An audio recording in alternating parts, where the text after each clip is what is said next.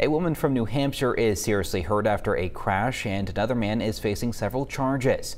Early yesterday afternoon, 21-year-old James DeFeo was driving a pickup truck in the wrong direction on Interstate 293, according to New Hampshire State Police. It says at around 2 a.m., DeFeo hit another driver head on. That driver was taken to the hospital with serious injuries. Police say DeFeo was not injured. According to police, impairment was the primary factor of the crash.